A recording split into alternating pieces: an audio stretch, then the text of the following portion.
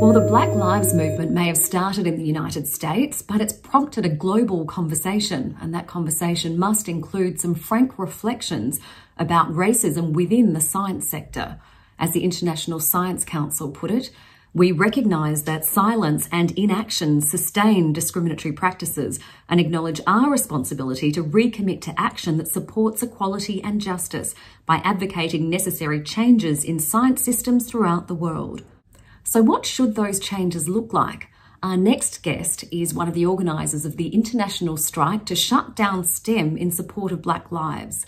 Brittany Kamai is an astrophysicist at the University of California, Santa Cruz.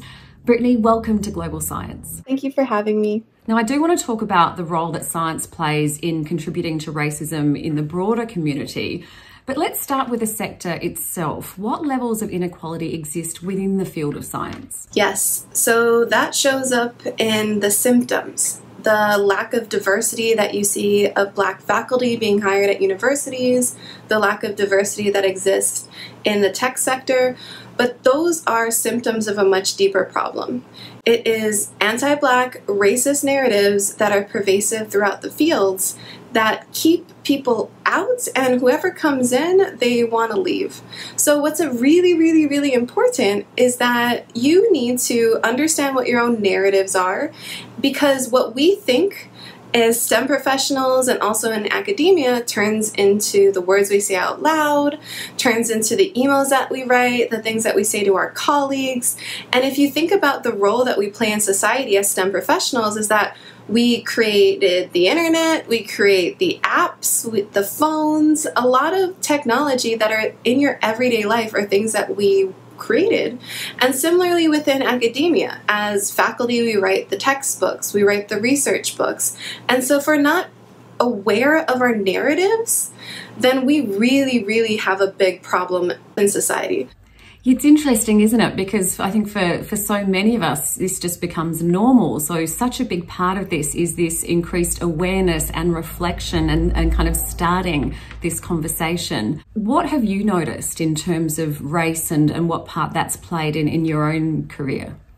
Oh, yes, it absolutely has. I mean, all of us start in this path because we're excited about the field and we want to figure out how we can learn what's happening and keep pursuing our paths. And along my way, I had opportunities to have scholarships for Native Hawaiians pursuing STEM is something I had as an undergraduate, but I really didn't understand why they existed in the first place. So uh, I moved to Nashville, um, and there, no one knows what Native Hawaiian women or Polynesian women look like. So I immediately started to have conversation about what is black, what the what are the stories of the South? How do I need to be careful and operate through this space? I had that same conversation when I moved up to Chicago. Uh, things were, you saw the inequities within the university and the national labs, and also throughout the entire city. So, moving through that space, uh, because of how I look, I was able to uh, experience you now and learn.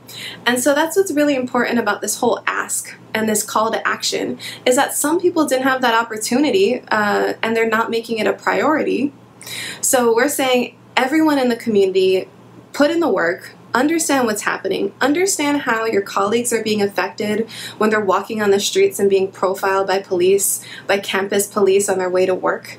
Understand the words that you're saying out loud, the emails that you're sending, the way you're designing everything, and the impact that it has on on everyone and everything. Absolutely. I mean, there's so much there in what you said in terms of, you know, being willing to say, actually, I don't know, help me understand this. You know, if you were to kind of like think about how do we fix this? How do we kind of put a roadmap together in terms of what we think works? And you talked about education, you talked about collaboration. What else? How do we, what do we throw at this?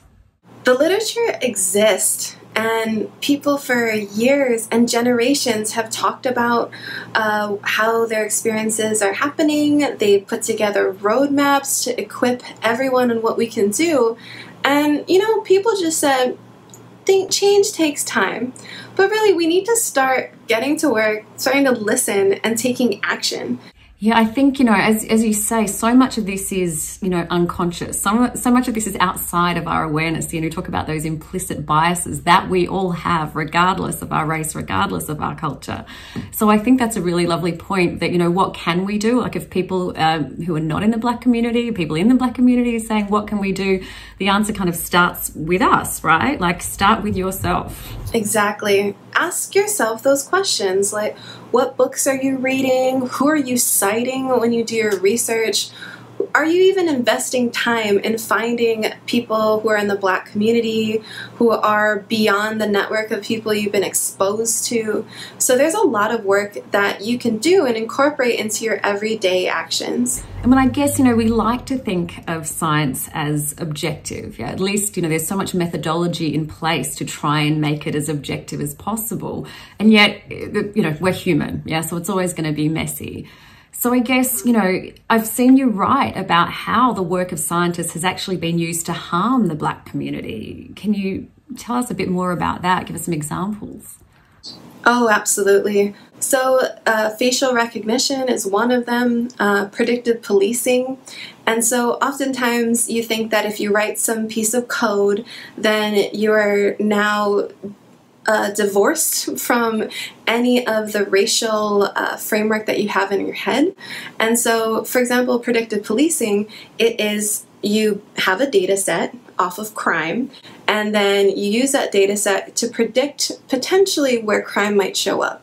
Now, if you never stop to ask the question, what's happening? Uh, how is that data set collected? Um, and who's going to be impacted by the code that I write, then we're going to continue to perpetuate this racist cycle. So, can you tell me about the shutdown? How did it come about and did it achieve what you wanted it to? Do you have a greater sense of hope? This really started as a call to action from the Black Lives Matter leaders who said, bring this into your communities. And for us, our communities are STEM, science, technology, engineering, and mathematics. Our community is academia, so all the other disciplines beyond STEM who are participating in the university. So that is our community, and we did the role of bringing it into this space.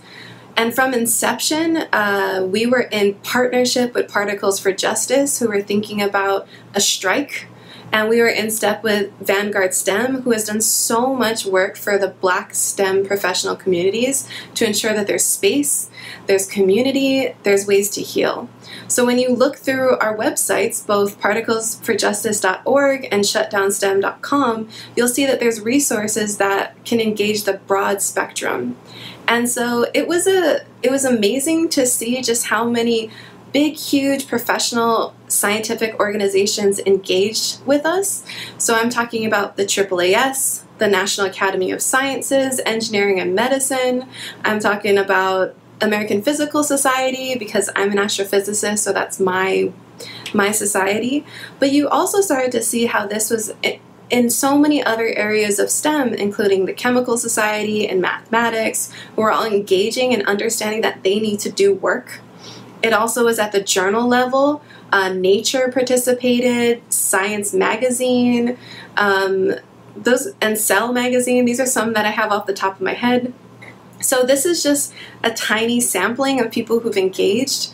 We had we were trending in the United States, we were trending in Canada uh, during on the day of, and we had so much traffic at our website. Uh, we had one and a half million page views of people coming to try to figure out what's happening, what's going on. And we saw in the response on Twitter that people really were engaging with the work. And that's a really good question in terms of looking forward. Like, what are we going to do once this moves on, once the headlines move on? How do we keep this momentum going? How do we keep the conversation going? How do we make sure we're continuing to move towards meaningful change? So much of what June 10th, 2020 is a day of transition.